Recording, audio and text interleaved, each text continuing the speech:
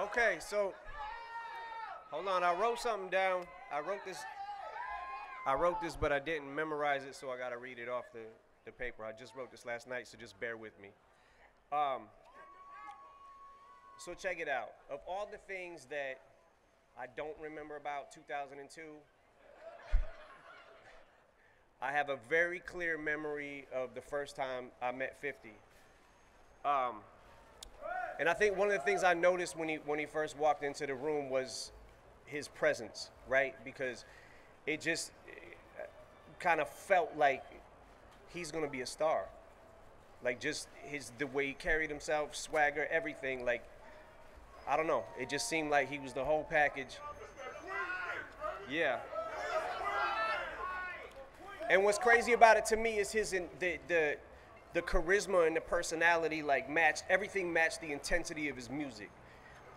You know, and that first album is so classic. And the first time I met Fifth, I, I was you know so excited to meet him. So I was just like, I started rapping all his songs to him, and I didn't really let him talk. You know, and uh, I kind of was trying to show him like how into him I was, right? But I think I might have probably overdid it. Um, but at this time, 50 was like, at this point, I had considered myself driven, right? Until I met him, and I was like, yo, this guy, he was putting out mixtapes, it seemed like every single week there was another mixtape. He was taking other people's beats and he was destroying them, right? So, so, so check it out. I just I knew that the, the dude sitting in front of me, sitting across from me, was just different, right? It just seemed like I don't know, man. Something just something about him just drew you in, and I think Dre and me knew that if it was gonna work, if it worked on us, that it was gonna work on the rest of the world. And I'm glad we trusted our instincts. So, yeah. So, um, so as we're leaving that meeting, me and Dre were talking, and 50 was walking away.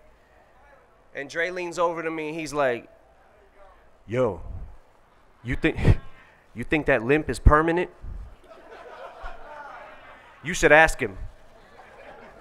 And I was like, "Why I gotta ask him?" And we're glad it was not permanent. and um, I just want to say, man, I'm, I'm here today because this is not only like a business partner to me, it, it, it's one of the best friends I've ever known in the world. And I would say that it's much more fun to be his friend than it is to be his enemy. Because this guy is fucking relentless. And he won't stop. And the same way that he's relentless in his battles, he's also relentless in his business. He's an artist, an entrepreneur, an actor, a director, a producer. He can juggle. He's great at Scrabble. He pretty much does it all.